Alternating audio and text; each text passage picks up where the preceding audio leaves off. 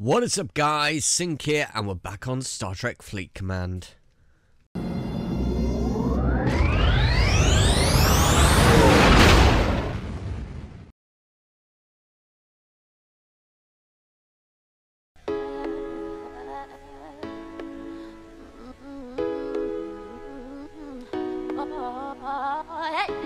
Keep pushing you away while I want you to stay. Amazing cold as ice, but my heart still beats.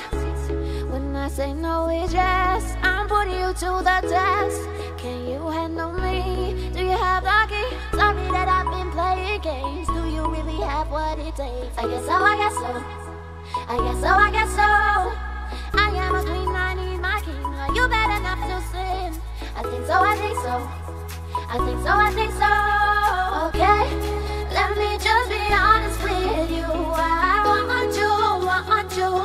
Want you. And oh, okay, I've been running circles all the time, but I want want want.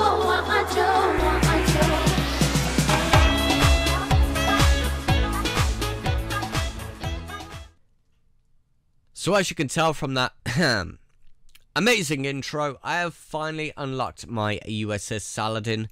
But if we go over to ship construction, I just want to show you this. Now the USS Saladin start, starts off with a base strength of 226,000 strength. Now this is with no upgrades, without leveling, without officers, which is pretty damn impressive. If you compare it to the Mayflower, it's pretty damn nice. Intrepid? Yeah. Baby, you're coming soon. You're coming soon. Don't worry. You're coming soon. But yes, I'm going to compare it to... It's not fair comparison because I'm going to compare it to the Akira.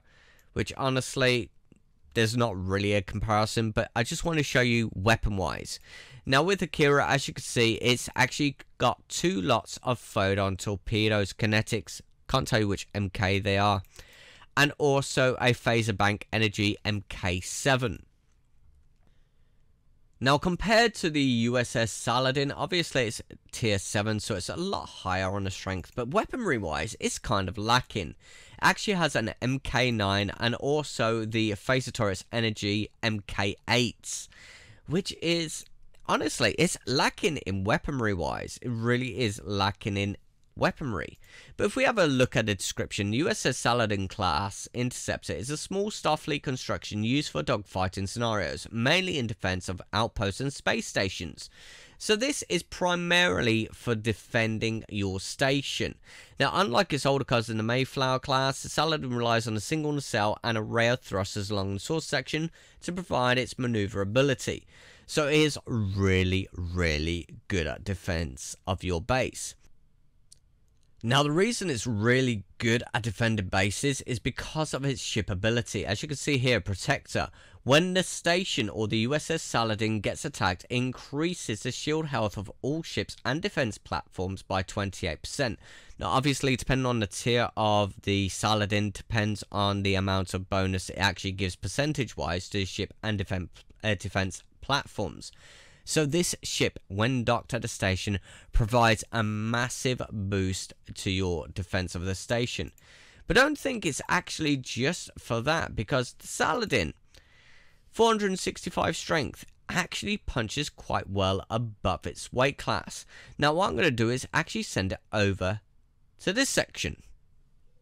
So we've arrived our ship in a swarm sector. As you can see, the level 28 interceptors as well.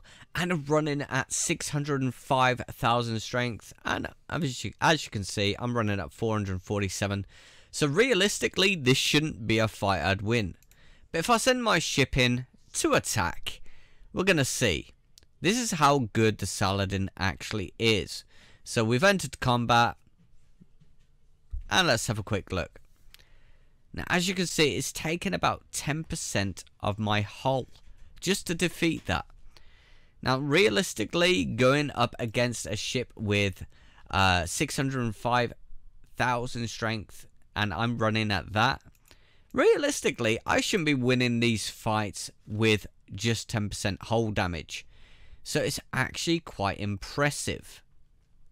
Now, obviously, the Saladin does require a bit of rep to get with the Federation. Now, if we go down here as you can see, to actually unlock the Saladin and start earning your blueprints does actually require consort, which, well, I don't actually have that rep. So a big thank you to Scopely for sending me the blueprints to actually unlock the Saladin. Um, yeah, it is seriously such an impressive ship, and obviously with the rep wise, it does take a lot of rep to be able to unlock it and I am loving this ship so much. It's helped me immensely completing missions I would never have thought I'd be able to complete in quite a long time. So yeah, the Saladin is so goddamn impressive in every single way.